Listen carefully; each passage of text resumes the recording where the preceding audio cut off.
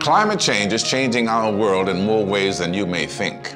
Because it's not just climate that's changing. People are changing the way they live their lives and the way they see the world. And these changes are the beginning of something huge. It's good.